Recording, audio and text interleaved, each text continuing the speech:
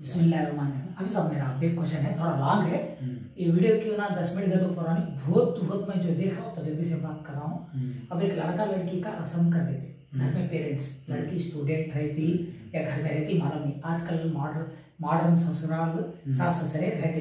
बच्ची के भी माँ बाप जवाई से अच्छा रहते। तो बच्ची के भी ससुराल वाले बच्ची के साथ आंटी आंटी बोल के बच्ची बात करती अंकल आंटी बोल के लड़का बात करता। मैं देखा सो हूँ। तो रसम होने के बाद ये लोग क्या करते फोना में बात करते हम्म, रसम से पहले देखते स्टेप नंबर ले लेते रसम से पहले फोना में बात करते रसम के बाद वीडियो कॉल नॉर्मल कॉल बात करते रहते हम्म, थोड़ा आदमियों को बुरा लगे तो मैं माफ़ी चाहता हूँ हकीकत है अक्खा है मतलब मैं तेरह साल के पीछे जो देखा मैं वो बात कर लूँगा। किसी तो बुरी लगे तो मैं माफ़ी चाहता हूँ बात। तो बाद में से क्या होता तू मेरे साथ ही जाए ना तुम मेरे साथ ही चाहे ना अम्मी को बोलो बच्चा बात करते हुए आंटी को खैर खैरियत पूछना बच्ची बात करते बच्चे की अम्मी को खैर खैरियत पूछना। खैरियत पूछते पूछते आंटी मैं बाहर लेके जाता हूँ संडे है।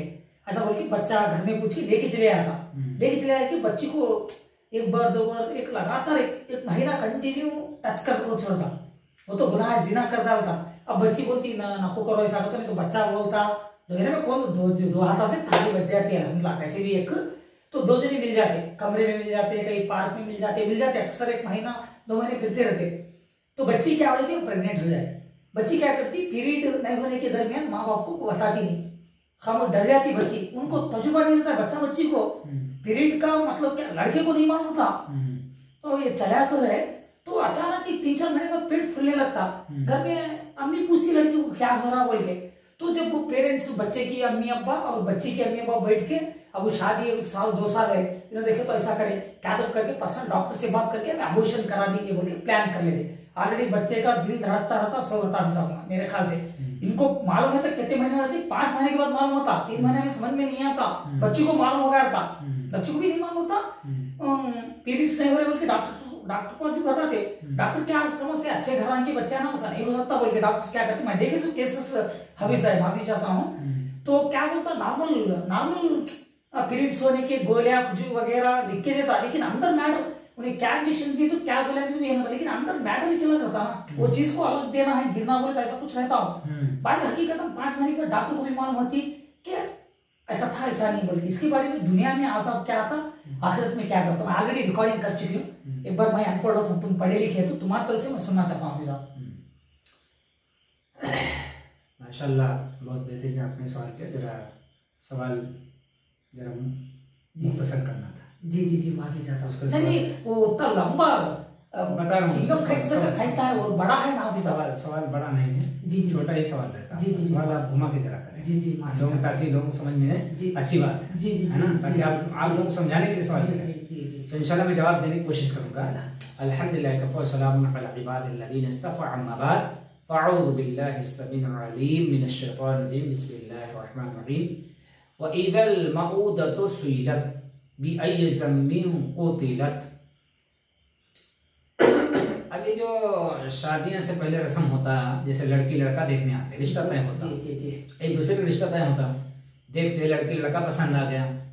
अब पसंद होने के बाद क्या करते? अब घुमाने ले चलते। जी। हाल चाल पूछे लड़का सास ससुर। से और उस बातों बातों में लड़की से बात करता। अब वो लड़की से फिर बात करता है फिर उसकी अम्मी से बात करता है उसकी अम्मी से बात करते करते फिर ले जाके घुमाने की कोशिश करता। जी जी जी कि जो सही। जरा इनको घूमने को हमारे साथ छोड़ो। पार्क में जाने चल रहा चल रहा चल रहा। भेज चल रहा है। अब भेज था बोल के अब भेज देते भेजने के बाद क्या होता गलत काम हो जाता। अब वो लड़की प्रेग्नेंट हो जाती। जी जी जी। अब वो लड़की छुपाती। फिर बाद में ज़ाहिर होता उसको फिर क्या क्या बच्चे को मार दिया जाता है दवा के ज़रिए इंजेक्शन के ज़रिए गिरा दिया जाता है हमें जी। साबित करा दिया जाता है। जी जी तो इसके बारे में क्या हुक्म है? जी। इसके बारे में शरीयत क्या है? जी जी जी पहली बात ये लड़की लड़का का मिलना पार्किंग में या कहीं भी ये गुनाह का काम है। क्या है? गुनाह का काम है। और इसलिए नहीं मिलना चाहिए क्योंकि अभी रिश्ता उसका नहीं हुआ। जी। निकाह के बाद निकाह के बाद वो मिल सकता है। जी लेकिन निकाह से पहले कोई लड़का लड़की नहीं मिल सकता। जी जी। बात तक यहाँ नहीं कर सकता वो। शरीर की कहती है। सख्ती से मना किया गया। जी। और जहाँ तक इसने ऐसा कर लिया तो कुरान की आयत है कि जब एक जानी मर्द और औरत जिना करें तो उनको सौ कोड़े लें या जल्दा का लफ्ज आया। मतलब सौ कोड़े मारे जाए उसको। गैर शादीशुदा। अभी शादी नहीं हुई है। उनका शरीयत कानून सूर्य नूर की आयत अल्लाह ताला फरमाया कि जब एक लड़का लड़की जिना करते हैं और जिना में आता ही है ये जो कर रहे हैं लड़का लड़की रिश्ता कायम होने से पहले जिने में शामिल होता ही है। ये जिनाकारी और बदकारी है अयाशी है ये। तो ये अगर ऐसा करते हैं अगर लड़की प्रेग्नेंट हो गई है तो बच्चे का बिल्कुल अगर कसूर नहीं उसमें। क्यों? इसके बारे में एक आपको हदीस सुनाता हूँ सही बुखारी मुस्लिम शरीफ की रिवायत है। गामदिया नामी एक औरत। आती है जनाकारी कर लेती है पेट से हो जाती है। अल्लाह। के नबी वसल्लम के पास आती है और कहते अल्लाह के नबी मुझ पर हद कायम कीजिए। मतलब क्या? हद कायम मतलब क्या? मुझसे जना सरजद हो गया है मैंने बदकारी की है और मेरे पेट में हमल ठहर गया। मैं पेट से हो गई हूँ। तो इस पे हद नामी मतलब मुझे कत्ल कीजिए पत्थरों से मार मार करके संकर संसार कीजिए। हाँ। कोई सजा जो कानूनी सजा वो दीजिए। अल्लाह के नबी क्या बोलते हैं? अभी मत, अभी जब तुम्हारा बच्चा पैदा हो, उसके बाद में आओ। बच्चा पैदा होने के बाद औरत लेकर के गोद में लेकर आती है। अल्लाह के नबी क्या बोलते हैं? बच्चा जब रोटियाँ खाने लगे, तब लेकर के आओ। औरत फिर लेकर आती है, देखिए अल्लाह के नबी बच्चा रोटी खाने लगा। और उसके बाद में क्या, फिर अल्लाह के नबी रुके, ठहरे जरा। कि बच्चे हिफाजत कौन करेगा? दूध कौन पिलाएगा? एक साहबी रसूल ठहरे, मैं इसकी ज़िम्मेदारी लेता हूँ। इसकी ज़िम्मेदारी बच्चे की पालने पोषण चुनाच उस औरत के लिए खड्डा खोदा गया गड्ढा कमर तक उसके बाद में उसको पत्थर से साहब कराम हुक्म हुआ अल्लाह के नबी ने हुक्म दिया पत्थर से मार मार के कत्ल कर दो इसको संसार कर दो। जिनाकारी की इसने। खालिद रज़ी अल्लाह का नाम कौन नहीं सुने? सैफुल्ला जिनको अल्लाह की तलवार खा गया। है ना? नौ तलवार लगभग टूटी थी उनके हाथ से। उन्होंने एक पत्थर दे मारे उसके ऊपर सिर पे।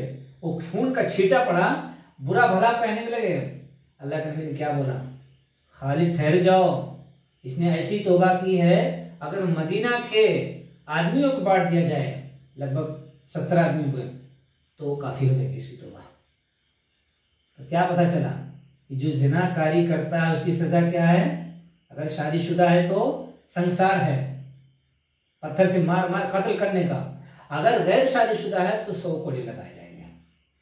शरीयत का कानून है। अगर फिर करेंगे जिला वतन भी किया जाएगा। एक वतन से दूसरे वतन में एक शहर से दूसरे शहर पे दिया जाएगा। शरीयत ये कहती है। और जहाँ तक आभूषण कराने का ये बिल्कुल हराम है। बच्चे की गलती नहीं है। बच्चा नहीं गिराना। कयामत अल्लाह ताला पूछेगा वही इधर मऊद तो सुईरत ज़िंदा दर- दरगोर कोई लड़की से सवाल किया जाए। जब- जब किस बिना पे तू कत्ल की गई? किस गुनाह की? जो पादाश में तुझे कत्ल किया गया। अब ये कत्ल करना होता है दवा के ज़रिए मारिए या इंजेक्शन करिए हमें जो गिराते हैं बच्चों गिराते हैं ये कत्ल में आता है। और कत्ल करना बहुत बड़ा गुनाह है। कबीरा गुनाह है। जिसने एक कत्ल किया तो बहुत बड़ा गुनाह किया। तो ऐसा पहली बात तो रस्म होने के बाद ये रस्म जो शादी होती है इसका तय होता है तो बात नहीं करना क्या भी नहीं करना मिलना भी नहीं। ये सब हराम है शरीयत ने हराम करा दिया है। निकाह होने के बाद तुम्हें कितना भी मिलो क्या भी मिलो शरीयत हुक्म देती है। नहीं घर में भी मालूमात नहीं दिन के बारे में बच्ची घर में भी नहीं। तो उसी टाइप का तो तोबा तोबा है। नहीं जी। जो शरीयत कहती है पहले मालूमात लो। जी जी। अल्लाह ताला अल्लाह ताला क़यामत के दिन पूछेगा। हम्म, माजा आलिमा माजा आलिमा कितना जाना? माजा अमिला कितना अमल किया? हर एक से सवाल किया जाएगा चाहे मर्द हो या औरत?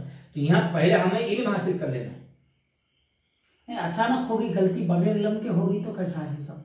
उलमाए कराम रहते हम्म, मस्जिद के इमाम रहते हम्म, आजकल हमारे मस्जिद के इमाम रहते हैं। जितने मस्जिद के इमाम हैं। हम्म, उनसे जाके पूछिए इस मसले का हल क्या है। जी। वो मसला हल बताते लेकिन सही आलिम पास जाना जिसको कुरान हदीस का इल्म सही बात बताए। छुपाए ना छुपाने वाला ना हो। तो जाके वो शरीयत के हिसाब से बताएगा मसला हल हो जाएगा। जी नहीं सर हो गई गलती तो तौबा की शक्ल क्या है? गलती हो गई है गलती हो गई तो रोशनी वही है। रोशनी है रोशनी में ही बात अगर शरीयत पूरी जगह है इस्लामी हुकूमत है इस्लामी गवर्नमेंट है हम्म, तो सजा उसको दी जाएगी। जी। अगर दूसरों की हुकूमत है हम्म। गैरों की हुकूमत है तो भाई थोड़ा एहतियात बरतना पड़ेगा। जी। अगर सजा देंगे हो सकता है आपको जेल भेज दो कुछ भी कर सकता है क्योंकि इस्लामी शरीर कानून नहीं है। तोबा है। तोबा का दरवाज़ा बंद नहीं है। अल्लाह के बंदे को मालूम है सो हम्म। बस वो माफ़ी माँगता अल्लाह से। लड़की भी माफ़ी मांगती तो क्या है इसके? अब अल्लाह चाहे तो माफ़ करे। जी जी अल्लाह के ऊपर है। जी। अल्लाह के ऊपर है लेकिन वो शरीय का जो कानून है ये है। सजा उसको मिलनी चाहिए। जी। हाँ। ताकि आइंदा ऐसे कोई हरकत ना करे। इसलिए शरीयत ने कानून मुकर्र कर दिया। जी। हम्म। कोई भी हो गैर हो या हमें हो किसी के बच्चे को क्या भी नहीं करना गलत निगाह से नहीं देखना जी अपना निगाह नीचे रखना। कोई भी हो ये कहती है सबकी इज़्ज़त इज़्ज़त हमारी बेटी की इज़्ज़त उसकी भी बेटी की इज़्ज़त। हमारी माँ की इज़्ज़त उसकी माँ की इज़्ज़त। उस, हमारी बहन की इज़्ज़त उसकी बहन की इज़्ज़त। बरोबर है। बराबर उसमें इज़्ज़त में सबकी सेफ्टी होनी चाहिए इस्लाम ये दर्ज देता है हमारा शरीयत कानून बताता है जी। कि सबको जो है इज़्ज़त मिलनी चाहिए। सबकी इज़्ज़त की हिफाजत होनी चाहिए। तो ऐसा जो भी करता है रस्म के पहले मिलता है वो उस निकाह से पहले तो वो बदकारी करता है जिनाकारी करता है और बहुत बड़ा गुनाह को मुर्तकब होता है। इसलिए उसको चाहिए कि ऐसी हरकत कभी ना करें। बचे बचे अपने आप को बचाए।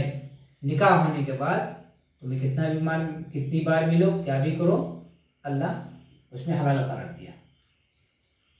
तो इसलिए हम नौजवानों खासतौर से क्योंकि नौजवान जो तबका है इसमें जज्बात में आकर के ऐसे बातें कर रहा है और ऐसे कामें भी कर देता है तो इसलिए नौजवानों से गुजारिश करूँगा कि ऐसे काम ना करें जो बहुत बड़ा गुनाह है और दुनिया में भी जिल्लत है और आखिरत में भी सजा है इसकी। तो इसलिए इससे अपने आप को बचाना चाहिए। अल्लाह ताला हम सबको नेक अमल की तौफीक अता फरमाए आमीन।